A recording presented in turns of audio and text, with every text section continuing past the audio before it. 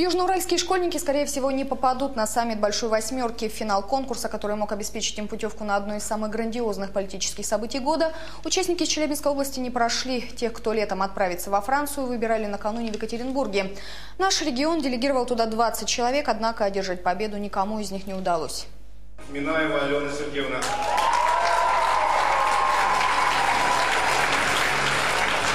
Отбирали их по целому ряду критериев, которые важны для успешной реализации вот, работы именно на саммите. Это уверенность, э, сам, навыки самопрезентации, навыки аргументации, э, умение устанавливать контакты, ну и работать в команде для того, чтобы поддерживать друг друга.